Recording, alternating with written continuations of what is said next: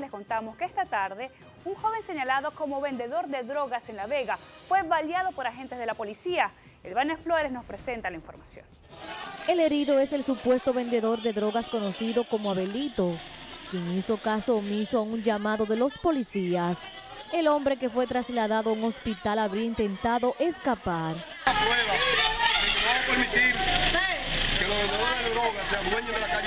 El colaborador en Moca, José Salcedo, reportó que este individuo enfrentó a una patrulla policial, por lo que estos le emprendieron a tiros. Cuéntese estaba con una patrulla, intentó agredirla con esa pistola, por lo que recibió un disparo de una tenía una gran cantidad de droga, pero la botó. El hombre herido salió de la cárcel en libertad condicional hace dos meses, de acuerdo a las versiones de decenas de curiosos que acudieron al hospital donde fue trasladado.